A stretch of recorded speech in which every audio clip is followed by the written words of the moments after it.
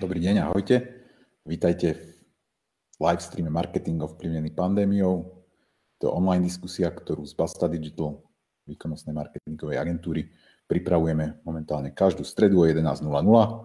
Venujeme sa aktuálnym témam, ktoré sú zaujímavé pre marketerov a marketerky, to znamená, e, ako fungovať, čo robiť, ako reagovať na e, situáciu, ktorá sa tak dynamicky vyvíja.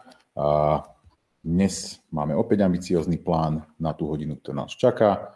E, či už ju sledujete naživo, alebo si ju pozeráte ako video, alebo ju počúvate ako podcast. E, tak ako každý týždeň, e, aby ste mohli sledovať slajdy, o ktorých budeme hovoriť, ak ich nebude dobre vidieť v streame, môžete si ich nájsť na adrese bit.ly lomeno 6 online diskusia, všetko malým. Eh, takže Bitly 6 online diskusia, číslica 6 online diskusia, všetko spolu malým. Eh, ten program náš dnešný má tri časti. Začíname koronavírus marketing novinkami, ktoré pre vás zhrniem ja. Moje meno je Andrej Salner, som senior konzultant v Basta Digital. A potom v druhej časti budeme debatovať so Samom Ondrišákom z UI42 Digital, z známej a veľkej agentúry Samo bude hovoriť o mm, fungovaní e-commerce počas pandémie a bude má, má takú veľmi zaujímavú tému, že čo sú tie veci, ktoré by bol býval chcel vedieť už pred mesiacom a ktoré sa za ten mesiac naučil. A potom budeme hovoriť s Jakubom Gombárom z Invelity, a rastúcej výkonnostnej marketingovej agentúry, ktorá sídli vo zvolenie. A Jakub dal dokopy z agentúrnych dát svojich a ešte z pár ďalších agentúr. Myslím si, že jedinečné dáta o tom, že ako sa vyvíjali e, ceny, ceny online reklamy sú úplne čerstvé, dáva ich dnes von aj na Invality blogu, takže, takže nám porozpráva, dá nám definitívnu odpoveď na otázky, že či teda CPC a CPM, to znamená ceny za prekliky a zobrazenia v tých najpoužívanejších e, reklamných platformách naozaj klesli, alebo sa udržali, alebo stúpli. No a potom ešte, ak nám vyjde čas, tak v trojici na, na tieto témy podebatujeme. Idem rovno na vec, idem na koronavírus marketing novinky. Prosím mojich kolegov, ktorí, ktorí ovládajú tú prezentáciu, ktorú by malo byť vidieť, aby nás posunuli na správny slajd. A mám tu takú novinku, e, mal som ju úplne čerstvo minulý týždeň, tesne pred tým live streamom a nestiel som ju tak podrobne spracovať, takže je to síce týždeň staré, ale je, je, je to myslím si, že, že priebežne aktualizované, takže sa to oplatí sledovať. Ak robíte s Googlem alebo sledujete Google, tak, tak viete, že e, Google má takú platformu pre vlastne analýzy, prieskumy, výskumy, ktoré sa volá Think with Google. E, poskytuje nám množstvo materiálov, ktoré sú zaujímavé pre marketerov, aj pre agentúrnych marketerov na to, že, na to, že aké sú trendy v jednotlivých vertikálach, geografických, v, správaní, vo vyhľadávaní a tak ďalej. A Google sa začal špeciálne na Think with Google e, venovať vlastne teraz tomu, že, že ako sa používateľia, ako sa spotrebitelia správajú v tej našej novej dnešnej realite. A prišli s takým celkom užitočným modelom, ktorý, ktorý vlastne rozdeľuje to správanie na, na viacero častí uh, ja som ho tak okrajovo minulý týždeň spomenul, ale teraz by som chcel dať trolinku viac informácií. Ešte chcem povedať, že to Think with Google CEE, e, teda Think with Google je, je delené ešte aj geograficky, to znamená, že je tam taká časť toho portálu, ktorá sa špeciálne e, venuje vlastne tomu nášmu regiónu, takže aj tie príklady, ktoré tam nájdete, nám geograficky nie sú až tak vzdialené, že sú, sú povedzme, že často z tých okolitých krajín, možno aj zo Slovenska, ale najmä asi z tých väčších trhov. Poďme na ďalší slajd, e, na čo prišli, na čo prišli e, Googláci. E, prišli na to, že sa dajú identifikovať také, také tri nové trendy v správaní, Prvé je, že ľudia veľa hľadajú veci, ktoré sa týkajú tzv. immediate needs alebo ich okamžitých potrieb. V rámci toho identifikovali, že výrazne, výrazne narastajú hľadania na tri témy, a to sú digitálne financie, vládna podpora a potom učenie sa online. Zaujímavé to pre vás môže byť vtedy, ak, ak sa niektorá z týchto oblastí aspoň periférne nejako dotýka tém, o ktorých chcete komunikovať so spotrebiteľmi vy a v tom prípade vlastne e, viete prostredníctvom tohto identifikovať, povedzme, že aký obsah sa vám oplatí tvoriť, alebo aký obsah sa oplatí zdieľať taký, ktorý je momentálne pre spotrebiteľov aktuálny a zaujímavý. Takže to je tá prvá skupina immediate needs. Druhá skupina nazývajú, že new day to day, to znamená akoby nový, nový každodenný život, nová každodennosť, kde to, v čom videli veľké nárasty hľadaní, sú také tri podtémy, niečo, čo nazvali úprava priestorov, to znamená, ľudia si hľadajú spôsob, ako napríklad si rozšíriť skladovacie priestory doma, ako si, ako si vstavať e, nejaké skrine alebo, alebo nejaké také závesné systémy a tak ďalej, to znamená na skladovanie rôznych vecí. Zase je to informácia využiteľná pre nás, napríklad ak by sme predávali bicykle, tak možno teraz je dobrý čas hovoriť o téme, že, že ja neviem, ako namontovať také háky na bicykel, kde sa dá bicykel úsporne uskladniť. Takže úprava priestorov, potom cvičenie doma, veľká téma, obrovské nárasty v hľadanosti toho, že ako, ako rôzne veci robiť doma. No a potom, potom e, domáce spotrebiče, tam je v tom slade jeden taký graf, e, ten je z, z Veľkej Británie a hovorí o tom, že ako brutálne narastol dopyt po e, takých domácich peciach na pizzu. Zjavne to neplatí len pre Britániu, ja som počúval takú sadu videí, ktorú, ktorú zverejnil Heureka, je tam vlastne CEO Heureky, ktorý, ktorý hovorí z heurekackých dát o tom, že čo sa predáva najviac a tiež vlastne hovoril o, o brutálnom náraste hľadanosti a predajov chlebových pecí domácich. No a môžeme ísť na ďalší slajd. A, a, a to je teda tretia skupina hľadaní, volajú to tzv. emerging behaviors alebo novo sa objavujúce správanie. E, opäť sú tam také tri kategórie ktoré môžu byť pre niekoho zaujímavé. Zábava doma za lacíka, to znamená, ľudia hľadajú spôsoby, ako e, sa doma rozptýliť, zabaviť e, za lacno. E, hľadajú rôzne zľavy na, na streamovanie, na, na kurzy a tak ďalej. Zháňame stravu a pestujeme. Ďalšia obrovská téma, ktorá brutálne narastla, to znamená, hľadáme rôznych lokálnych dodávateľov stravy alebo takých, kde sa dá dobré jedlo objednať ako donáška. A teraz tým nemyslím nevyhnutne veľkých predajcov typu Tesco, ale že skôr, skôr už dnes ľudia postupne zistujú, že OK, je to nadlho, to znamená, že hľadajú si možno, že ja neviem, že uh, lokálny zdroj uh, domácich vajec, taký, taký, ktorý je to schopný dovážať. A potom množstvo informácií o pestovaní, o tom, ako si vyrobiť uh, hrantíky a podobne. No a ten ďalší trend, ktorý Google vypichol, je, je náraz záujmu o, o teda do it yourself témy, to znamená, ako si rôzne veci urobiť opraviť a tak ďalej na YouTube. Ten, ten obsah je, je, e, myslím, že z toho prvého slajdu aj, aj prelinkovaný. Je tam vlastne na tom Think with Google urobený taký hub, kde by mali tie analýzy pribúdať. Tvárdi sa predtým, že budú týždenne, ale myslím, že to niekedy začiatkom apríla zamrzlo, takže, takže e, posledný update tam je možno, že aj dva týždne dozadu, ale verím, že sa tam dáta objavia ďalšie. Je tam potom aj popísané, že ako sa dajú tieto informácie vyhľadávať v Google Trends pre tých z nás, čo povedzme robíme s e, marketingovou vyhľadávačov, tak sme z Google Trends zvyknutí pracovať, ale možno, že nie každý to má tak preklikané, takže sú tam také návody, typy, že, čo, že ako v Google Trends vyhľadávať tie trendy pre, pre tú vašu vertikálu.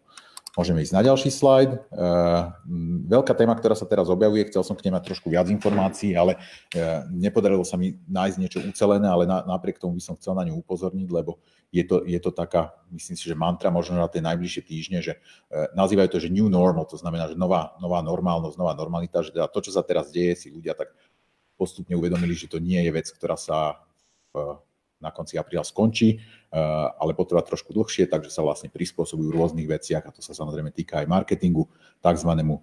Eh, new, new normal. Pravím, keď si, keď si vygooglite New Normal, nájdete viacero zdrojov, veľmi zaujímavé eh, veci má napríklad britský Marketing Week, kde majú také rozhovory so seniornými marketermi, že čo pre nich znamená New Normal, ale to som nevedel do tohto streamu nejak zmysluplne spracovať. Twitter ktorý dával von viacero výskumov, tak má, má uh, tak celkom dobre pomenované podľa mňa, že, že, že čo sú tie témy, ktoré z toho, z toho new normal vyplývajú, s ktorými sa dá pracovať. Nie je to úplne nová informácia o Twitteru, oni už s týmto modelom robili aj predtým, ale napriek tomu si myslím, že stojí za vašu pozornosť. Pomenúvajú, um, mám tu naskrinčotované, také 4, 4 potreby, ktoré vychádzajú z toho, že, že čo sa momentálne deje. Prvá je potreba presných a spolahlivých informácií, druhá je potreba služieb zákazníkom a zákazníckej podpory. No a potom tá tretia a štvrtá sú tiež zaujímavé z hľadiska, z hľadiska toho, že ak dávame von obsah v tomto čase, tak ľudia ešte hľadajú, volajú to, že distraction and levity, to znamená, že nejaký nie, distraction je nejaké rozptýlenie a, a, a nadľahčenie tej situácie, to znamená akoby humor, ten humor samozrejme musí byť citlivý. No a potom po štvrté hľadajú komunitu a pozitivitu, to znamená hľadajú nejakú takú podpornú komunitu a dobrý pocit z toho, že, že e, sme, sme v tom spolu. A myslím si, že aj keď sa pozrieme na komunikáciu slovenských firm, tak by sme našli, našli veľké množstvo prípadov, e, m, najmä v tomto, v tomto štvrtom bode, to znamená tej snahy o nejakú tvorbu komunity. Uh, poďme na ďalší slajd, ktorý podľa mňa zmienuje niečo veľmi zaujímavé a to je redesign eh, web stránky koronagov.sk, na ktorom vlastne participovala eh, nechcem povedať, že len marketingová komunita, lebo, lebo tá komunita je širšia, lebo bola to taká marketingovo UXácko, ITčkársko, aktivistická komunita, eh, ľudia okolo Slovensko Digital. Viem, že v tých, v tých zmienkach o tom som videl spomenuté konkrétne aj Lighting Beetle, jednu z popredných jedno z popredných UX štúdí na Slovensku, ale výsledok je taký, že, že keď si pozriete Koronagoveska, tak je to zásadne redizajnované, malo by to byť prehľadnejšie, malo by to byť oveľa používateľsky prívetivejšie oproti tomu, čo tam bolo predtým. Ak ste to, ak ste to predtým videli, tak ako pre marketera to bol taký tzv. cringe, že teda človek sa na to pozrel a, a dívalo sa na, na to miestami zle. Ten dôvod, prečo som to tu dnes chcel vypichnúť, je, že niekedy, niekedy aj pri tej našej pomerne intenzívnej komunikácii k marketingu ovplyvnenému pandémiou, ktorú robíme v Basta Digital, tak máme také reakcie, kde hovorí, že čo teraz, to nie je čas pre marketing, že marketeri teraz by mali byť ticho, že teraz ide o zdravie a že možno, že e, keď chceme niekomu marketingu vysvetliť, že, že, že čo je dnes tá naša rola, že prečo, prečo je tá naša práca stále v niektorých veciach dôležitá, tak je to aj preto, že napríklad ako marketeri e, pomáhame urobiť informácie prístupnejšími a tu je taký možno taká dobrá ilustrácia toho. Môžeme ísť na ďalší slajd. Ešte chcem pripojiť tri zdroje, niektoré z nich som už spomínal aj predtým. V Basta Digital sme iniciovali takú, voláme to bezplatná pomoc pre najviac postihnutých podnikateľov. Ide o buď poradenstvo alebo priamo poskytovanie tých našich bežných služieb takým firmám alebo živnostníkom, ktorí momentálne e, tou situáciou trpia najviac. Znamená, ak sa potrebujú poradiť, ak si potrebujú nejak, nejak upratať, ak potrebujú nastaviť nejaké kampane, tak máme taký formulár, kde keď e, si to vyplnia, tak niekto od nás sa s nimi spojí. Podobnú iniciatívu, ale viem, že majú, majú aj iné agentúry. Viem, že napríklad teraz, keď som sa pripravoval na dnešok a pozeral som si, že čo robí, čo robí Invelity, tak, tak niečo také robí Invelity. Uh, videl som takúto iniciatívu od Visibility, videl som iniciatívu od, od um, Elite Solutions a verím, že aj, aj veľa iných agentúr. To znamená, že možno sa oplatíte, možno podnet pre mňa na budúci týždeň, že, že nejakým spôsobom zhrnúť, zhrnúť e, tieto pomoci dokopy. A všetky tieto streamy, tak ako ich nahrávame, sme začali vešať na, na Spotify ako podcast. To znamená, že ak je vám príjemnejšie nevidieť ma naživo, ale iba, iba počuť naše hlasy, tak môžete uh, na Spotify vlastne sledovať tie jednotlivé diely tak, ako tam pribúdajú. E, posledná vec, ktorú chcem zmieniť, je náš koronavírus mailing list. Vytvorili sme taký samostatný mailing list, kde dávame vlastne novinky, ktoré priamo súvisia s marketingom e, v tomto období. Ten, ten mailing list je dočasný, to znamená, je len, je len na toto obdobie. A ak vás zaujíma téma marketingu momentálne, určite sa pridajte, lebo my v Basta Digital sa tomu venujeme dosť intenzívne a prichádzame aj na veľa Eh, povedzme zdrojov, článkov a tak ďalej, ktoré, ktoré si šerujeme len interne a toto bude také miesto, kde by sme, kde by sme ich chceli potom zdieľať aj širšie. Takže keď si, keď si, kliknete, keď si kliknete, myslím, že je to bastadigital.com lomeno korona, tak je tam, je tam vlastne prihlásenie sa k eh, odberu noviniek. No, dobre, to je všetko ku koronavírus marketing novinkám. E, ideme na ďalšiu časť našej online diskusie, alebo teda tento online monolog sa zmení v tejto chvíli na online diskusiu. A mal by tu byť so mnou naživo Samo Ondrišák e, z UI42 Digital. Samo, musíš si unmutenúť mikrofón a už to aj máš. Super. Ahoj a vítaj. Zdravím, pekný deň všetkým, krásny, slnečný, aj keď suchý apríl. Hej. Kde sme ťa zachytili geograficky? Kde sa nachádzaš? Doma pri Trenčine, Dolná Súča. Dolná súča pri Trenčine. Super. Samo ďakujem ti veľmi pekne, že, že si si našiel na nás dnes čas a uh, viem, že máš aj veľa inej roboty v tomto e, krušnom období. A ten dôvod, prečo som, som chcel so samom hovoriť, je, že ešte koncom marca, myslím, že to bolo 25. ak sa nemilím, tak e, ste z UI40 Digital dávali von jeden, jeden taký článok na blog, ktorý sa mi strašne páčil, ktorý si písal ty a hovoril vlastne o tom, že uh, ako transformovať narýchlo a pod tlakom offline biznis do online.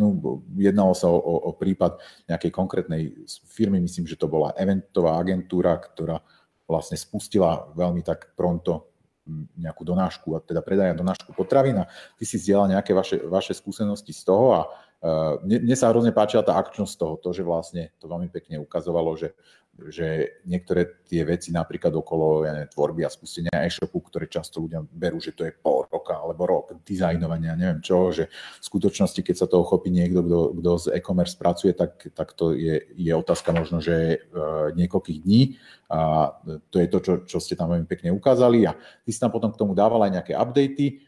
A mm, viem, že e-commerce to zďaleka nie je jediný projekt, na, na ktorom robíte a teda ja som vnímal, že možno by si vedel teraz v takom spätnom pohľade sa podeliť vlastne o, o e, tie skúsenosti, ktoré, ktoré ste za ten asi mesiac v tomto získali. Keď sme sa pripravili my dva na dnešnú debatu, tak sme hľadali, že akým spôsobom to uchopiť, že čo bude taký dobrý uhol a došli sme k niečomu, čo sa mi veľmi páči ako zadanie, lebo pre mňa je ľahké, pre teba ťažké a to je, že, že sme si povedali, že povieš, povieš o tom, že, že čo sú veci, ktoré si dnes v spätnom pohľade želáš, aby si bol býval predtým niečo vyše mesiacom vedel. Že čo je to, čo sa za ten mesiac naučil, čo keby si si mohol zatelefonovať do polovice marca a povedať, že OK, spúšťaš tento e-shop, že daj pozor na toto, toto, toto, e, čo sú tie veci.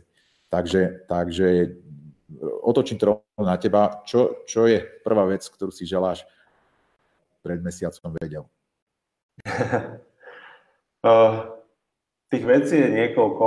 Uh, keď som si to tak retrospektívne pozrel, že pred mesiacom, keď som písal ten článok a pre koho som ho písal, ešte predtým som teda písal aj o tom, ako takéto krízy vyzerali v Arábii, v Číne, v Japonsku a ako, aký mali priebeh a aký druh tovaru sa vtedy predával, tak by som si želal pred mesiacom, aby som vedel, aký presne nábeh, ktorý typ segmentu bude mať a ďalej by som si veľmi želal kto, čo bude vedieť predávať v podstate, kto, čo bude vedieť dodávať. Pretože si myslím, že aj na najbližšie obdobie, aj za ten mesiac od toho článku sa ukázalo, že tie najväčší, najväčší problém, ktorý, ktorému čelíme a ktorému budeme asi aj najbližšieho 4 roka čeliť, bude, že či budeme mať čo dodávať nie, že či budeme vedieť predávať online, pretože ten online predaj všeobecne, keď sa pozrieme na data, veľmi stúpol, samozrejme cestovky nám padli a tak ďalej, ale sú tu iné formy, uh, iné, iné segmenty, ktoré predávajú veľmi výrazne len presne kvôli týmto obmedzeniam, ktoré sú. Že veľmi by som si želal presne, aké tie segmenty by ke, v ktorej fáze presne kedy porastú. Hej. Lebo keď si pozriem ten príklad napríklad toho potraviny online, oni to fakt, že za 3 dní vybudovali e-shop, čo bolo proste neuveriteľné. Nehovorím, že bol dokonalý, lebo my sme potom tú platformu, trošku sme ich tak dotlačili do toho, aby, aby ho zmenili hneď na úvodnom meetingu, pretože bola nepružná, mobilný dizajn nebol dobrý, nedala sa tam dať online platba kartou.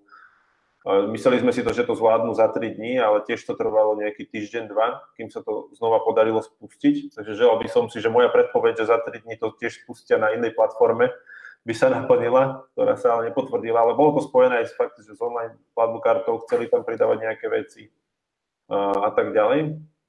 Ale zároveň oni medzi tým sa veľmi vrhli na PR. Oni, keďže boli eventová agentúra, mali kontakty do všetkých online portálov, HN Online, Smečko, tie lokálne, Myžilina, Mitrenčín. Takže oni urobili fakt dobrú prácu v tom, v tom PR. Ale želal by som si vedieť aj také informácie, že koľko napríklad takých potravín online vznikne, hej? pretože ich tu za mesiac vzniklo asi 20. Hej? Takže tá mhm. konkurencia brutálne narastla. Zároveň tie, ktoré existovali, tie B2B firmy, ktoré dodávali do školských jedální, do, do, do reštaurácií, sa tiež retransformovali rýchlo veľmi na, na B2C. Hej. Aj keď nemajú dokonalé weby, ale majú oveľa viac dodávateľov, majú oveľa viac tovaru, možno priaznivejšie ceny. Hej, takže my teraz trošku pracujeme na tom, aby sme toho zákazníky, zákazníka strhli k nám Pretože zase tie potraviny online sú jedineční v tom, že oni ti to donesú do Hornej Marikovej. Mm-hmm. Fakt do 24 hodín vybavujú zatiaľ všetky objednávky, takže dneska je objednáš a zajtra to definitívne máš. Takže tak. A čo sa týka nejak globálneho pohľadu aj iných klientov, tak veľmi by som si želal vidieť, ktorí klienti budú mať prepad a ktorí budú veľmi rásť. Pretože keď sme si to teraz, presne včera sme si to zhodnotili, na rannom mítingu, že viac klientov rástlo, ako malo prepad. To znamená, že celkový ten trend je pre online pozitívny. Aj keď založený na negatívnej veci, ktorá sa okolo nás deje, trošku negatívnej, ale stále je to pozitívne. Keď si pozrieme aj na iných klientov, tak máme klienta, ktorý predáva maliarské potreby. Väčšina tých plátien, ktoré oni mali, sú vysoko kvalitné a boli z Talianska. Takže oni, Taliani zrazu nevedeli dodávať ich hlavný produkt. Ale kúpili stroj z Nemecka, ale problém je, že zavreli sa hranice, takže nevedel dostať ľudí zo Slovenska do Nemecka na zaučenie, aby dokázali ovládať ten stroj. To znamená, že kúpili stroj, ale zase ho nevedeli ovládať. Takže riešia, ako tam tých ľudí dopraviť, riešia výnimky, prípadne nejakú online výučbu, ktorá je v tomto type proste tiež uh, dosť kritická. Hej. Akože Nemecko už uvoľňuje tie opatrenia, takže veľmi pravdepodobne, že sa tam dostanú. Zase oni sú, oni sú v snine, takže tá výroba nebude pre nich až taká drahá z pohľadu akože aj priemernej mzdy. Ďalšie, a podľa mňa všetko stále sa točí okolo, okolo tých dodávok toho tovaru, pretože máme klienta, ktorý predáva cyklistické oblečenie. Najskôr bol problém trošku výroba, pretože fabrika sa zastavila ale teraz ten balík stojí už neviem koľko týždňov na letisku a zase ho nemá kto naložiť. Nemá ho kto sem poslať. Ja toto si povedzme, že toto sa bude diať. Najväčší problém budú 3. 4. kvartál a keď ste e-shop, tak vám hovorím, že už teraz si riešte, čo budete mať, čo budete mať čo predávať na Vianoce. Pretože ďalší príklad, klient, ktorý predáva oblečenie, do marca majú bežne deadline na objednávanie na zimnú sezónu, a doteraz nemali ani komu poslať objednávku. Mm. Pretože sa nepracuje. To znamená, že na zimu veľmi pravdepodobne nebudú mať čo predávať. Alebo budú musieť nejak staré zásoby. Ale tento problém budú mať všetci. A či, samozrejme, čím menší e-shop, tým menšia priorita je pre výrobcu. Mm. Keď sa pozriem na ďalší taký príklad, máme klienta, ktorý mal sklad v Maďarsku, tiež boli chvíľu zavreté hranice. Veľmi by som si želal toto odhadnúť ešte pred mesiacom, že kedy sa zavrú maďarské hranice a tak narýchlo tiež proste kúpili sklad v Českom Tešíne, Poliaci tiež medzi tým zavreli hranice, mm. aj pre kargo. A, ale podarilo sa im to nejako, nejako zmanažovať. Ako, takže je to doba takých veľmi rýchlych rozhodnutí a kto sa vie veľmi rýchlo adaptovať, tak podľa mňa túto vojnu trošku vyhrá. Mm. Uh, a ono to vieš nejako, môžem, môžem ti do toho na sekundu skočiť, že vie, vieš nejako povedať, že, že komu toto riešenie logistiky ide lepšie a, a kto s tým má väčšie problémy, lebo naznačil si, že možno to trošku súvisí s veľkosťou, e, že povedal si, že proste tie, tie, tí malí odberatelia majú slabšiu asi aj vyjednávať, sú teda menej zaujímaví pre, pre výrobcov alebo pre, pre tých sprostredkovateľov, ale že vo všeobecnosti, akoby, že, že kto je ten, kto bude mať tie najväčšie problémy s tovarom? Ten, kto odoberá z Číny, alebo že čo, čo sú tie súvislosti, ktoré do toho vstupujú? Ono to podľa mňa ešte bude závisieť od ďalšieho vývoju, ktorý bude v rôznych krajinách, či z Európy, či z Číny, pretože áno, veľká časť klientov má tovar z Číny, alebo veľká časť tých produktov sa vyrába v Číne, pretože je tam lacná ocela, samozrejme, že Čína lacnejšie vyrobí nejaké časti motorov, povedzme, ale veľmi závisí od toho aj, kde tá fabrika je a či je schopná pracovať. Takže sa to nedá paušalizovať že jeden konkrétny typ segmentu bude mať problém. Pretože ak ste mali fabriku niekde v tej Wuhanskej oblasti, tak áno, samozrejme máte problém. Ale v iných častiach Číny napríklad vôbec neboli problémy. Máme klientov, ktorí s dodávateľmi mali, že, že 1% bol nejaký problém s dodávkou. Takže nedá sa to paušalizovať a fakt apelujem na to, aby ste si to u svojich dodávateľov veľmi precízne zistili a bavili sa s nimi, že čo je reálne na o, najbližšie mesiace až rok od nich získať ako dodávku. Pretože tie problémy budú len narastať. Uh-huh. Ono, je to, ono je to ešte tak spojené celkovo táto dodávka, že vidíme ten trend, že Niektorí klienti už mali poobjednávaný tovar, bol na ceste, prišiel neskoro a automaticky sa to odrazilo na hodnoteniach na Heureke. To znamená, že išli z 90 na 70% v priebehu jedného mesiaca. A tu tiež len chcem zdôrazniť, že naozaj si dajte pozor, ako komunikujete dodanie na svojom webe. Ak to s istotou neviete doručiť do dvoch dní alebo do týždňa, ako slúbujete, tak to zmente. Pretože ak vám klesnú hodnotenia na Heureke, Čechách sa množia prípady, kedy zamietli Google Merchants účty. To znamená, nemôžete predávať na shoppingu. Pretože v podstate Google vám hovorí, že klamete zákazníka. Klamete zákazníka o tom, kedy to príde. Rovnako odporúčam mať aj stránku s tým, že či vaša forma funguje, či dodávate, či stíhate deadliny, doručovania a tak ďalej. Toto sú všetko podľa mňa faktory, ktoré by ste už mali dávno mať na webe, aby tí ľudia vedeli, že či uh, pracujete v normálnom režime. Uh, a ešte by som si želal, že vidieť, že aká bude kúpyschopnosť obyvateľstva, pretože pred mesiacom, mesiacom a pol, keď niektorí klienti už išli v prvom rade vypínať marketing, ne? pretože to padlo v podstate niektoré segmenty o 50, 60 aj 80% ale o 2,5 týždňa sme boli na lepších číslach ako predtým. To znamená, že bolo také skratové konanie a keby som vedel, že nebláznite, proste toto nebude takto trvať väčšine.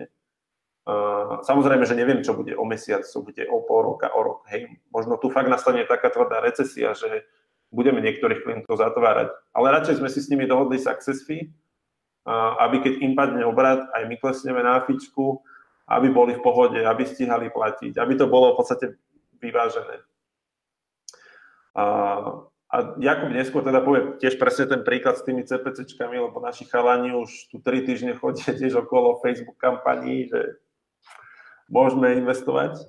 Sú tam akože výborné výsledky, my to vidíme aj na našom internom marketingu, že máme, čo sa týka cost per acquisition, ako išla rapidne dole na nových klientov. My sme zároveň tiež otvorili niekoľko niekoľko e-shopov, ktorí predtým mali e-shop len tak, že ako doplnkovú možnosť. A, takže to je asi také zhrnutie, že čo by som rád uh-huh. vedel ešte pred mesiacom. Uh-huh. No jedna vec, čo mi ešte z toho vyplýva, čo si hovoril, a, a to možno, že súvisí s tým potravinným online príkladom, je, že, že, že tam sa, že tomu, kto chce byť e, taký, že rýchlo reagovať a takticky a tak, tak sa, sa oplatí možno, že rozmýšľať nad tým, že aké má udržateľné výhody. Že, e, ja sa pamätám, že my na, úplnom začiatku toho diania, keď sme sa rozvezli na, na home office Basta Digital, tak sme sa bavili o rôznych nápadoch, čo teraz robiť, čo sa dá robiť, čo dáva zmysel pre nás robiť, aby sme boli užitoční pre klientov, aby sme dostali relevantný pre trh. A jedna, jeden z návrhov, ktorý padol, bol napríklad, že, že OK, máme viacero klientov, ktorí, ktorí sú v potravinárskom segmente, také skôr akoby e, menšie špecifické veci a že poďme im pomôcť vytvárať nejaké balíčky, rozvážať po Bratislave a e, veľa sme vtedy o tom debatovali a vlastne z rôznych dôvodov e, sme si vtedy povedali, že OK, že to nie je to, čo my vieme robiť hej, a že bude, akože asi, asi sa do toho pustí niekto iný. A teraz aj po tom, čo si povedal ty, tak si hovorím, že vlastne bolo to dobré rozhodnutie, lebo sme tam nemali žiadnu udržateľnú výhodu, hej, že keď, keď ako keby Eh, ja neviem, spomínal si firmy, ktoré dovážajú potraviny do školských jedální, že oni jednoducho, keď sa rozbehnú, je, že možno, že sú v online trošičku pomalší ako my a, a potrvá im o 3 dní dlhšie, kým si vedia pustiť v searchi kampane, čo my vieme urobiť do pol hodiny a tak ďalej, ale za oni už keď sa rozbehnú, tak ako majú proste eh, dodávateľov, majú priestory na skladovanie, majú, vedia ako riešiť celú tú logistiku okolo potravín a proste majú x vecí, ktoré sú udržateľné výhody, ktoré my priebehu nejakých týždňov by sme určite neboli, neboli bývali schopní dobehnúť. Uh, áno, áno, dobre hovoríš, dobre hovoríš. Je to na príklade aj toho, že si zober, že Alza začala predávať trvanlivé potraviny. A mhm. Alza rastie brutálne. Sice tiež meškajú niektoré uh, balíky, nám balíček uh, drogerie uh, trval 2,5 týždňa, im prišiel. Takže tiež typujem, že tam veľ, veľký nápor. A bude to rozhodovať aj o tom, že aký máš, aký máš silný brand. Hej? Pretože môj názor je, že teraz sa darí hlavne tým klientom, ktorí majú nejaký etablovaný brand. A to, to znamená, že, že ak príde nejaká vlna, že online predaj, zvýšený dopyt, tak práve tí, ktorí už majú nejaký brand, majú návrh oproti tým zatierajúcim. Áno. Súhlasím. Myslím, že bolo také, také pár týždňové obdobie, keď mali návrh tí, ktorí vedeli dodať dezinfekciu, je, že bolo skoro jedno, že presne, a, e, by som povedal, že kto mal dezinfekciu alebo múku, no tak te, akoby, že ten, ten mal krátkodobý návrh, že ja, ja viem, že som kupoval múku na kváskovanie z bottle shopu v Komárne, ktorý akože, tá, tá, kúpil som asi, myslím, že to bolo 10 kg múky a flaša vodky, lebo, lebo mi to bolo také blbé, že tá múka bola po 55 centov a bolo mi to také blbé, že hovorím, že tak z bottle shopu za 5 eur 50 objednávka, 10 kg múky, že oni, takže, takže ale určite by mi to normálne nenapadlo, že určite by som normálne tú múku objednával z Teska, len Tesco v tejto chvíli nemalo, ale akoby vo chvíli, keď, keď tie silnejšie značky si, si ten reťazec do, e, dodávateľský rozbehnú, že, že určite máš pravdu, že proste e, ľudia ich budú preferovať ako dôveryhodnejšie. Ja chcem vyzvať všetkých, čo nás teraz počúvajú alebo pozerajú, že ak sa, chcú, ak sa chcú do debaty zapojiť, ak sa chcú niečo opýtať, tak sa môžete opýtať prostredníctvom Facebooku, môžete napísať a dostane sa to k nám a, a teda môžeme sa spýtať aj, aj sama, aj Jakuba. Jakub, Vítaj. Jakub Gombar z agentúry, z agentúry Invelity. Musíš sa... Ahoj. Čau, si super. Uh, tiež sa ťa spýtam, že kde sa, kde sa geograficky nachádzaš? Ja sa nachádzam vo zvolenie. Vo zvolenie, máš na tam, kde, tam, kde vždy. Tam, kde vždy, vo zvolenie trofeje idú. Ja mám manželku zo zvolená a tiež uh, majú na chatke svokrovci také polovnícke trofeje, takže predpokladám, že to je štandardná zvolenská záležitosť. Určite, no. Jasné. Minimálne u nás. Ďakujem ti veľmi pekne, Jakub, že e, si sa k nám pridal a aj sa veľmi teším na tú tému, ktorú si priniesol. Ale začnem možno tým, že je niečo, čo e, ťa oslovilo v tom, o čom sme sa bavili so, so samom, že niečo, čo by si chcel dodať. E, ako, ako, ako to vnímaš? Ty tiež si mal nejakých klientov, ktorých ste ládovali online nejako narýchlo v tých posledných týždňoch? No my sme hlavne riešili, že pri mnohých klientoch to bolo také tie skratové konanie, ako sa mu mhm. takisto vravel, že, že koniec, hej, vypnúť všetko a tma. Ale mnohí zase tiež, ktorí, ktorí mali biznis akože postavený hlavne na uh, kamenných pobočkách a popri tom mali nejaký e-shop, ktorý veľmi riešili, tak teraz ich to v podstate zachránil počas toho, ako sú, ako sú tie prevádzky zatvorené a takisto to, čo si je ty vravel, že ktoré segmenty rastú, akože tá, tá domácnosť, v prípade tie financie, to vidíme veľmi aj u nás. Hej, že bol tam takisto niekoľko dvojtýždňový pokles, ale to sú veci, ktoré ľudia riešia, hlavne aj tú domácnosť teraz, keď sú všetci doma, tak ľudia to nakupujú teraz online a, a toto určite rastie. Mhm. Je väčšina klientov, s ktorými ty robíš, že sú to e-commerceoví klienti, alebo, alebo robíš s nejakou zmesou aj, aj iných typov ja sa skôr, ja, ja, pracu, ja konkrétne u nás pracujem skôr z B2B a možno to je nejaký ten lead generation uh, kategórie webov, čiže to je to, čo ja robím. Uh-huh. Jasné. Dobre, poďme sa baviť o tom, o, tom, e, o tých dátach, ktoré si, ktoré si zozbieral. Ja len stručne uvediem, že vlastne e, prišiel si s takou, takou iniciatívou, ozval si sa niekedy minulý týždeň, že ste dali dokopy uh, takú analýzu, ktorá vlastne vyťahla e, z anonymizovanie samozrejme z klientských účtov údaje o tom, že ako sa, ako sa vyvíjajú ich náklady na reklamu a že vlastne ty vieš dnes normálne jasne a jednoznačne odpovedať na tú otázku, že či naozaj reklama zlacnela a či všetka zlacnela a či zlacnela na, na e, preklik alebo zlacnela len na, na impresie. E, my, máme, my máme Mm, alebo možno začnem tým, že povedz nám trošičku o tom, že, že aké sú to teda dáta. Dobre, tak ja som sa pozeral hlavne na dáta z dvoch najväčších alebo najvyužívanejších reklamných systémov, Facebook a Google. Ten Google som si rozdelil na ten display a search. A, a vlastne sú to anonymizované dáta z troch agentúr. Je to od vás, z Basta Digital, od nás Invality a ešte aj Visibility, kde sme to vlastne dali celé dohromady a dali do to, to vlastne do časovej osy pred, pred vypuknutím kvázi tej krízy a, a potom ako to celé vypuklo, tak ľudia si to teraz môžu porovnať vlastne aj v čase, ako sa to asi vo februári hýbalo a kde je to aktuálne, respektíve už aj tam vidno ten trend, kam sa že sa to odpichlo od toho dňa, že tí ľudia to začali riešiť, alebo môže byť zase dve varianty, hej, že buď ten, ten výpadok, teraz vykrývajú tie nové segmenty, alebo nastala tá transformácia, alebo teda jedno s druhým. Pri tých, pri tých iných biznisoch, že viac začali orientovať na online, že vyriešili tú logistiku, doplnili tú distributorskú sieť a zase majú vlastne to portfólium rozšírené, ktoré môže teraz uh, promovať online. Mhm. Ešte na jednu vec sa chcem spýtať, že vlastne tak, tak ako ste to v úvodzovkách e, nakodili alebo pripravili, tak sa tam poľahky dajú naliať aj iné dáta. Je? Že teda to znamená, že keby niekto si chcel zbehnúť takúto analýzu na svojich dátach, to nemusí byť nevyhnutne e, agentúra, ale proste niekto, kto má pod sebou viac účtov, tak vlastne vie sa obratiť na teba a ty by si mu vedel, vedel e, sa podeliť o nejaký skript, ktorý to, to urobí. Hej? No jasne, my sme to robili v podstate cez Supermetrix, a tam to môžem ja vlastne celé query z nás dielať, to nie je problém, kto by si to chcel zbehnúť. V prípade, kto by chcel doplniť ten, ten dataset dát, ktorý máme tu, tak ľudia tam to nie je problém nejak nahrať. My sme vlastne pracovali iba s dátami, čo sa týka vlastne segmentácie, či je to search, display, cena, za kli, cena kliknutia zobrazenia.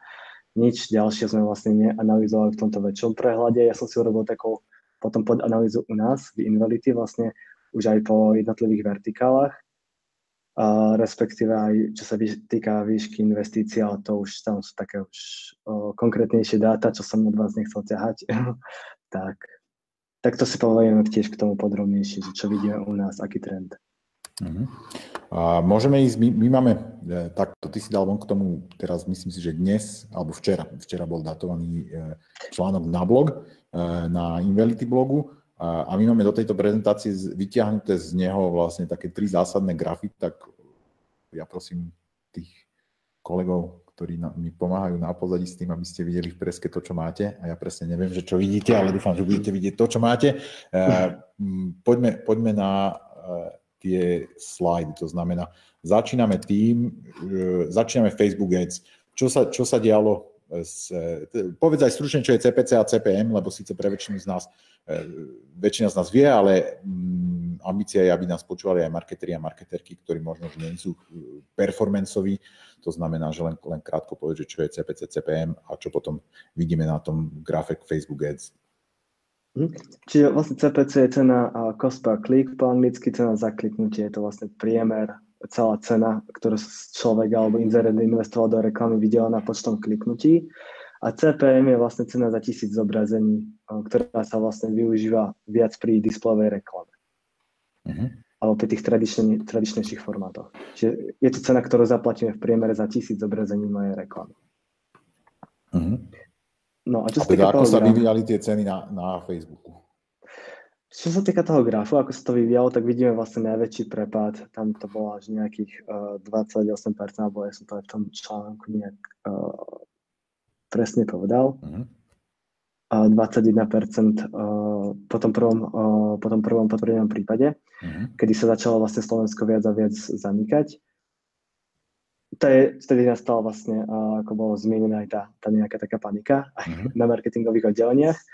Ale takisto akože ten trend, čo vidíme, tým, že vlastne Facebook je platforma, kde sa väčšinou uh, tí inzerenti uh, akože účtujú, respektíve fakturujú na zobrazenie, tak tu by som vlastne v tom Facebooku hlavne, hlavne dával prioritu na CPM metriku, čiže cenu za tisíc zobrazení, ktorá vlastne, keď to porovnáme ten koniec alebo zač- polku februára s tým, čo je tam teraz, tak vlastne mám pokol zo 40%. Mm. Vlastne ako aj som vravel, tak, uh, tak tá cena, priemerná cena, či ide o kliknutie, či ide o konverzie a tak ďalej, v podstate mala klesnúť, lebo tí ľudia na tých sociálnych sieťach sú, ak je to produkt alebo služba, ktorá je využiteľná aj teraz, prípadne ak robíme awarenessové kampane, respektíve kampane na uh, zobrazenia, tak tam teraz za rovnakú cenu vlastne inzerenti získajú priemer až aj týchto dát v priemere o cca tých 40 zobrazenia impresí viac. Uh-huh. Mňa tam zaujíma ešte jeden efekt, lebo keď, keď som sa zamýšľal nad, nad tými dátami a nad tým rozpetím, ktoré tam pokrývaš. Rozmýšľal som, že akú, akú úlohu tam mohli hrať voľby, lebo akoby z tej skúsenosti, ktorú sme mali aj z týchto volieb, ale aj počas predošlých volieb, že to je, to je také obdobie, najmä teda tých akoby tesne pred, pred začiatkom moratória, keď už sa reklama predvolebná púšťať nesmie.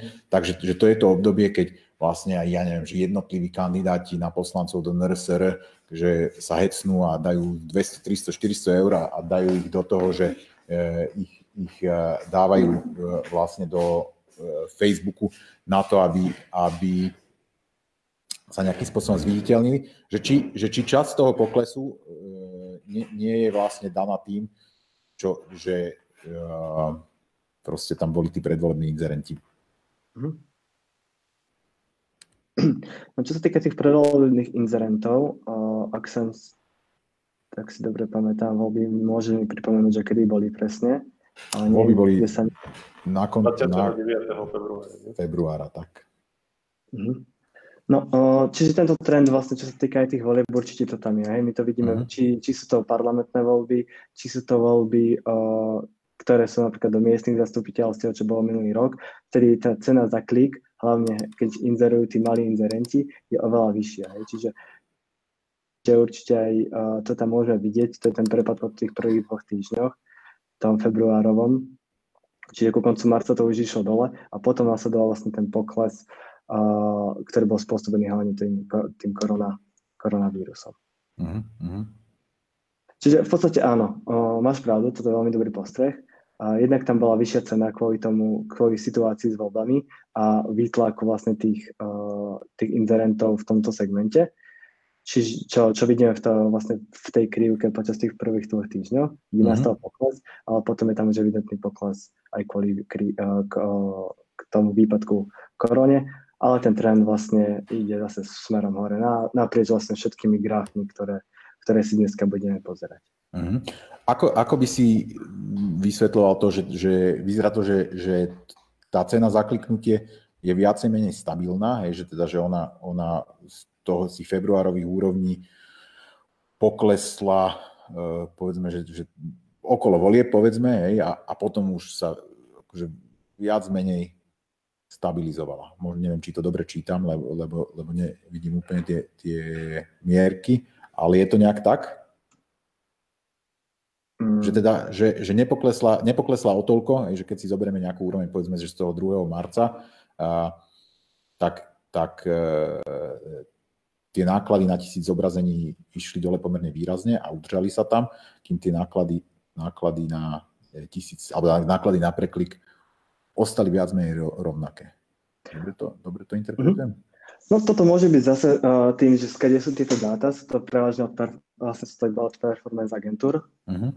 Uh, čiže kde, kde je ten cieľ tie uh, získavania prevažne tie kliknutia, hej? čiže uh-huh. nie, nie zobrazenia, uh, ktoré v podstate môžeme mať nejako nastavené, to už jasne nejakú hlbšiu analýzu toho, že akí klienti mali aké zastúpenie, s akými nastaveniami v, tom, v tomto data sete, hej, s ktorým pracujeme. Čiže ako tých premených tam môže byť viacero, čo, mhm. čo to môže kolerovať. Ale ako som vravel, hej, že tým, že Facebook je skôr tá platforma, a, ktorá inzeruje na impresie, mňa mm. zaujala hlavne tá, tá metrika cena za tisíc zobrazení, mm. lebo za to sme nakoniec vlastne účtovaní a tam samozrejme po, po, po zmene, a, potom ako vlastne ľudia ostali doma, sa zmenilo aj použi- e, používanie tých sociálnych sietí. Čiže mohlo sa, môže sa stať, že ľudia oveľa viac času trávajú na tých sociálnych sietí, sieťach. Mm-hmm. Čiže tá cena, uh, cena za zobrazenie kvôli tomu klesala. Hej. Mm-hmm. Jasné. Poďme, poďme na ten ďalší graf, poďme na vlastne GDN. Tiež, ak ťa môžem poprosiť, tak stručne povedať, že čo to je, lebo zase nie, nie sme tu všetci e, z performanceovej časti branže, tak aby nie, každému, nie pre každého GDN je úplne zjavné, že čo to znamená. Na GDN alebo Google Display Network je vlastne obsahová sieť Google. A to znamená, je to sieť, ktorá pokrýva v podstate milióny webov a cez túto sieť vie z Google Ads inzerovať tú banerovú časť reklamy. Čiže tá displejová časť, čiže ak sa niekomu zobrazujú banery, tak z veľkej časti je to vďaka tomuto v tejto obsahovej sieti Google. Čiže je to nejaký prostriedok na rôznych weboch, ako je možno aj SME, Pravda, alebo rôzne publisherské, nielen na Slovensku, ale aj zahraničí weby, tak uh, to sú vlastne weby, ktoré poskytujú reklamný priestor Google a my cez Google Ads tam zobrazujeme našu reklamu alebo reklamu našich klientov. Uh-huh. A ako sa vyvíjali vlastne náklady na, na Google Ads? To je zase zaujímavé. zaujímavé to, že tu práve tá CPM linka si drží, uh, si drží rovnakú tú, nejaký rovnaký trend. Nevidíme tam nejaký zásadnejší výkyv. Ale zase uh, tá CPC linka, čiže cena za klik, nám v podstate v priebehu času klesá. Hej, zase vidíme tam ten, ten výtlak ešte februárový, čo, sa tý, čo môže súvisieť samozrejme s tými voľbami. Mm-hmm. A, a potom vlastne to klesá k, k marcu, ku koncu marcu a tedy sa to vlastne odráža od dna. Zase v prípade Google Displayovej reklamy, na rozdiel od Facebook reklamy, tu zase je väčšina inzerentov uh, fakturovaná v podstate za kliknutie, nie za zobrazenia. Mm. Samozrejme určité kampane alebo fungujú na základe tisíc, ceny za tisíc zobrazení, ale čo sa týka mojej praxe z performance agentúr, tak som si istý, že aj z toho, skedy pochádzajú tieto dáta, tak väčšina kampaní bola práve na ten záklik, čiže zase to je nejaké, e, čo by som odporúčal sledovať v tomto grafe. Mm-hmm. Dobre, ideme, ideme na reklamu o vyhľadávaní. No áno, čiže to posledný vlastne uh, graf, ktorý je tak najviac skákavý. Ešte povedz, viem, že zase je to e, laická otázka, ale uh, že prečo, prečo na tom grafe, ktorý sa také týka vyhľadávania, vlastne už, už je len cena za klik, že už tam vlastne nie je tá cena za tisíc zobrazení? No, ide o to, že vlastne nie je to o, žiadna obsahová sieť, nie je to obsahová reklama, je to reklama vo vyhľadávaní. Či sa zobrazuje nie užívateľovi pri nejakej jeho inej činnosti, že napríklad pri čítaní pozeraní feedu na sociálnych sieťach, ale v podstate tá reklama je priamo cieľená pri, a zobrazí sa len pri vyhľadávaní konkrétneho vyhľadávacieho dopytu. A zároveň tento graf je podľa mňa tak najmenej výpovedný, lebo veľmi, veľmi, čo sa týka cien alebo toho správania, sa veľmi sp- zmenilo správanie. V mnohých segmentoch veľmi klesla vyhľadávanosť určitých vecí ľudia začali niečo iné vyhľadávať, ako si spomínal, napríklad tie financie alebo domácnosť, teraz majú výtlak, tak toto je podľa mňa taký akože najmenej relevantnejší graf, čo sa týka toho nejakého vývoju, lebo to sa veľmi, veľmi je to závislé od toho, to, na čo inzerujú tí inzerenti. A,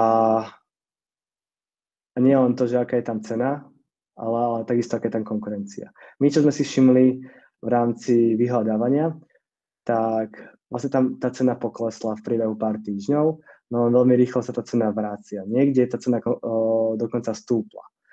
Zase vďaka nižšej cene za klik v, v vyhľadávaní v určitých segmentov segmentoch získal mnoho viac kliknutí, lebo budget dostal rovnaký, konkurencia sa znížila a tak, tak tým pádom vieme pokrývať oveľa väčší, väčší uh, objem vyhľadávania a reklamový. Čiže to je, to je niečo, čo sa tak stal, čo sa tak deje v podstate v tom searchi.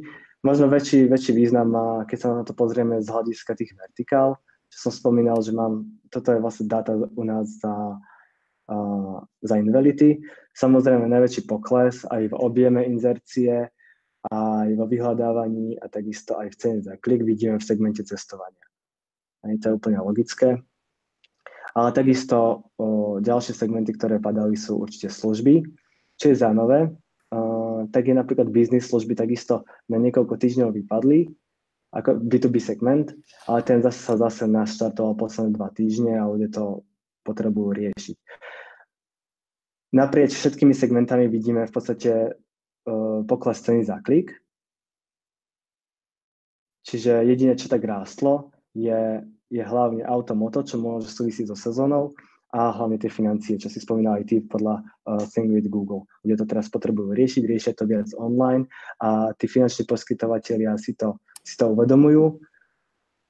Uh, tie budžety možno nielen uh, v rámci u nás v agentúre, ale celkovo sa viac teraz musia presúvať do toho online a čím väčšia konkurencia v tom, v tom vyhľadávaní je, tak tým nám bude aj stúpať tá cena.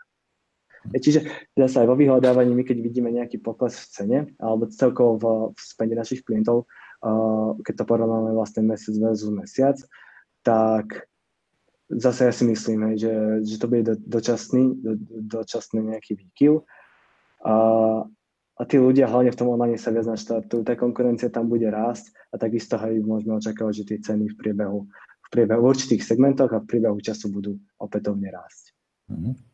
Samo, zapojím ťa do tejto debaty, ak môžem, lebo ty si e, tak pekne hovoril o tom, že kolegovia chodia vysmiatí, že aké fajnové e, ceny na Facebooku. Ja to poznám tiež od mojich kolegov, nevidím ich síce, ak chodia, ale by som, že vidím, vidím na e, Google Hangoute, akí sú vysmiatí. A teda platí to, neplatí to samozrejme všade a pre všetkých, ale, ale aj my sme to videli, že v určitých veciach proste, najmä toho Facebooka sa to týkalo, išli tie náklady dole a to my samozrejme, že vidíme radi a najmä pokiaľ tam nejaké transakcie sa dejú. A chcem, sa, chcem sa opýtať aj teba samo, ale, ale aj Jakuba, že e, keby sme v tom, čo sa deje vlastne s tými cenami reklamy, chceli hľadať príležitosti, že čo, čo je to, pre, čo a pre koho by sme tam odporúčali ako príležitosť. Že kdo, kdo, mm, ja súhlasím s tebou Jakub, v tom, čo hovoríš, že asi sa nemôžeme spoliehať, že to takto bude, bude trvať veľmi dlho. Že skôr je to možno že nejaký výkyv, ktorý sa, sa e, postupne ako keby absorbuje, normalizuje, hoci ako za, samozrejme záleží aj na tom vývoji ekonomiky, tak jak samo spomínal, že ak tá recesia, ak ten prepad bude ste veľmi hlboký, tak to môže ovplyvniť vlastne celkovo tieto výdavky do reklamy a to potom samozrejme ovplyvní tie, tie e, ceny aj za zobrazenia, aj za kliknutia, ale, ale keď sa nebudeme dívať tak dlho dopredu, pozrieme sa na, na to, že keby sa nás dneska niekto pýtal, že aká je tam pre neho príležitosť, tak čo by sme povedali? Tak zaberiem si ja slovo. A ja teraz veľkú, veľkú príležitosť vidím hlavne v budovaní uh, povedomia o značke pri, uh, pri rôznych, uh, rôznych segmentoch, v rôznych vertikálach.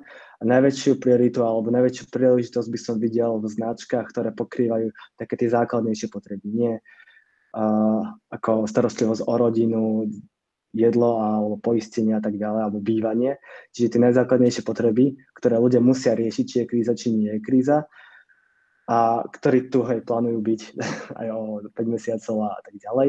Čiže teraz vďaka tým nižším cenám je príležitosť uh, si tú značku možno viac upevniť na tom trhu, alebo tú poznateľnosť tej značky a, za, vlastne za priemerne nižšiu cenu a vieme, že tí ľudia budú možno o mesiac, alebo keď to budú potrebovať riešiť, oveľa, oveľa viac pripravení vlastne spolupracovať s tou, s tou danou značkou, ktorá využije teraz tú príležitosť.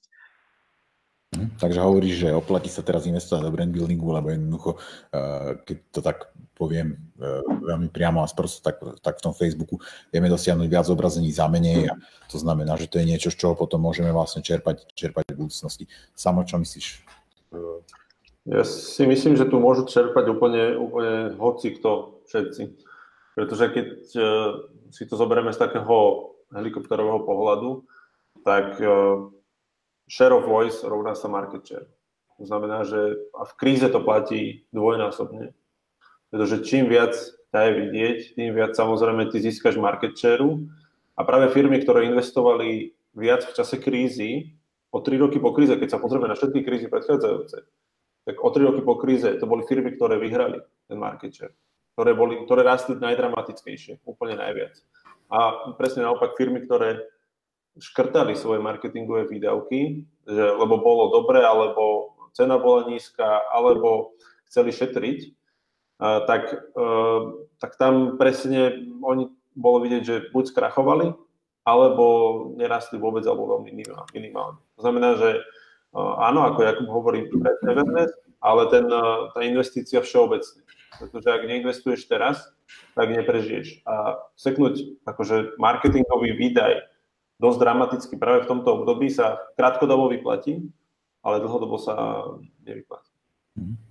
Ja to tak vnímam aj cez klientov, s ktorými komunikujeme, že vidím možno, že zjednodušene také dve skupiny podľa toho, že ako boli pripravení na, na krízu všeobecne a samozrejme nikto asi nebol pripravený na to, čo sa bude diať e, s pandémiou, ale tým, že sa už posledné minimálne dva roky hovorilo o tom, že e, proste ekonomiky svetová, že smeruje do krízy, tak, tak sú firmy a sú povedzme aj korporátni klienti, ale aj myslím si, že niektorí menší, ktorí sa na to pripravovali, že si vytvárali rezervy, rozmýšľali, že kde ušetriť, ako by teraz čo najefektívnejší, ho, hoc e, tá, tá ekonomika je silná. A že vlastne ten rozdiel, čo teraz vidím, je, že vidím takých, ktorí sú teraz relatívne vysmiatí, lebo vlastne hovoria, že toto je naša príležitosť, že vieme hajrovať teraz ľudí e, na trhu, pretože, pretože e, sú lacnejší a, a je obrovská neistota vie, vieme proste predávať a tak ďalej, lebo sme na to pripravení a potom tých, ktorí, ktorí naopak hovoria, že fú, no tak akože teraz hlavne potrebujeme vyriešiť, z, čoho zaplatiť mzdy. Hej, že, takže, a, a určite to je aj po sektoroch, hej, že keď si spomínal Jakub proste ten travel, tak my máme silný kmen klientov v cestovnom ruchu, hotely, cestovky, dopravcov a to tí, to, tí sú na tom by som povedal viac než zle, že vždy, keď čítam také tie návody, že teraz by hotely mali písať o tom, že ako si urobiť wellness doma, alebo čo tak hovorím, že oni momentálne majú úplne, úplne iné problémy a oveľa fundamentálnejšie. Ja, že, takže, takže e, asi, asi tá kríza ako keby preveruje vlastne to, že ako, ako kto bol na to pripravený. A ona preveruje celkovú takú tú investíciu tých klientov a respektíve narábanie uh, s nákladmi pretože máme taký dobrý príklad, máme klienta, ktorý mal v sklade 4 ľudí a ten klient rástol o cca 50 až 70 neviem presne teraz, ako sa to hýbe, ale on zistil, že zvýšený dopyt objednávok dokáže 1,5 človeka vyskladniť. Uh-huh. Vieš, že teraz je čas fakt nájsť efektivitu všade. Uh-huh. Či je to ja nehovorím, že máme ma teraz prepustiť ľudí, ale tí ľudia môžu robiť ďaleko inú robotu a ten sklad obslúžia 1,5 človeka. Takže je to, je to príležitosť hľadať tú efektivitu všade, automatizáciu. Jak ste mali manuálne všetko riešite v sklade, no tak teraz je často zautomatizovať. Mm-hmm. Jasné. Jakub... Ešte, ešte, ešte sorry, len, len dodám, lebo ty si na začiatku v tej svojej prezentácii spomínal, že, že máte komentáre, že že marketéri by mali byť ticho, lebo ide o mhm. zdravie? Vieš mi prosím povedať, že v akej spojitosti to bolo? E, vieš čo, e, ako je to taká špecifická spojitosť ináč, ale my máme klienta, my máme veľa klientov v oblasti zdravotníctva, ktorí sú, sú rôznorodí, ale máme aj klienta, ktorý vlastne realizuje e, testovanie na, na koronavírus, tak tam vydávam celý ten prúd komentárov, ktorý okolo toho ide a, ten akoby hovorí, že jak vy môžete vôbec akože robiť reklamu na to, hej, a tam presne ja som sa vysvetlil, že počkajte, že my robíme reklamu, aby ľudia vedeli, kde sa môžu ísť dať otestovať, hej, že to je, to je ten účel, ale, ale e, úplne špecificky som to, som teda ten komentár, ktorý som mal v hlave, sa týkal vlastne blogu, ktorý môj kolega Jano Laurenčík písal. On písal o tom, že ako fungujeme počas koronakrízy, kde vlastne chcel, chcel vysvetliť, čo sme urobili vo firme, ako teraz uvažujeme a tak. A, a, a k tomu sme mali jeden taký hrozne vtipný komentár, ktorý tam ostal vysieť bez odpovede a ten bol taký, že, že digitálny marketing, teraz keď umierajú ľudia, proste, že, že to, e, to znamená, že sa to, sa to týkalo, akože asi to bol taký, taký všeobecný výkrik. Pretože ako môj názor je taký, že no, marketéri by nemali byť ticho, práve že by mali robiť dokonalejšie svoju robotu, pretože marketing, digitálny marketing teraz robí 50% toho úspechu, či ľudia budú mať svoju prácu alebo nie. Pretože ak tí ľudia budú prichádzať o prácu kvôli tomu, že my, ten, my tú robotu nebudeme robiť dobre a veľké zahraničné reťazce podkryjú ten trh a ten dopyt, tak naši ľudia prídu hlavne o prácu, naši, naši, naši zamestnávateľia lokálni, ktorí tu budú lokálne firmy. A, a to samozrejme neželáme nikomu, aby potom prišiel len kvôli tomu robotu, aby sme boli ticho. My sme tu mali pred 4 týždňami v marketingu ovplyvnenom pandémiou ako, ako hostia takého talianského výkonnostného marketera Gian, Gianpaolo Russo, ktorý je, je e, PPCčkar a on vlastne hovoril, že on je v Taliansku, že, že oni patria vlastne do tej kategórie zamestnancov, ktorí sú natoľko dôležití, že napriek akoby tým najväčším karanténnym opatreniam, že musia, teda môžu chodiť do práce, alebo sú dôležití pre ekonomiku, tak som tak smiel hovoriť, že to by sme aj my tak chceli byť vnímaní, ale myslím, že to teraz veľmi pekne povedal, že aspoň my, my e, ľudia v marketingu, myslím, že nám, nám sa takýto pohľad na vec páči, že ja si tiež myslím, že sme teraz veľmi dôležití, alebo teda, že vieme byť užitoční, možno, že lepšie, lepšie je to zaramcovať tak. Samo, Jakub, chcem vám veľmi pekne poďakovať za to, že ste sa k nám dnes pridali a že ste sa pridali s takým zaujímavým obsahom. A toto bol šiestý marketing ovplyvnený pandémiou. Dúfam, že e, sa postupne dostaneme do bodu, že marketing nebude byť, musieť byť ovplyvnený pandémiou. Ak ste nás dnes sledovali e, v live streame, tak e, nám určite napíšte, čo ste si mysleli, či sa vám to páčilo alebo nepáčilo. Čakali sme na otázky, ale, ale ja priamo do live streamu nevidím, ale kolegovia mi žiadne nesprostredkovali, to znamená, že predpokladám, že nikto nepísal. A ak máte nejaký podnet, o čom by sme sa mali baviť, ako by sme sa mali, mali baviť, napíšte buď do komentárov na Facebooku, alebo mi napíšte na mail salnerbastadigital.com. Budem sa tomu veľmi tešiť, pretože vlastne toto vzniklo tak nadivoko a tak nadivoko sa aj každý týždeň upravuje, že čo, o čom sa bavíme. Mne sa dnes tá debata veľmi páčila, takže ešte raz ďakujem vám obom a, a ďakujem vlastne aj všetkým, ktorí, ktorí nás e, dnes sledovali a samozrejme aj tým, ktorí sa potom neskôr vypočuli, či už e, prostredníctvom videa na Facebooku alebo v podcaste. E, mali by sme sa vidieť zase o týždeň o takomto čase, to znamená v stredu 29.4.11.00. Pekný deň. Ďakujeme za pozvanie, pekný Ďakujem.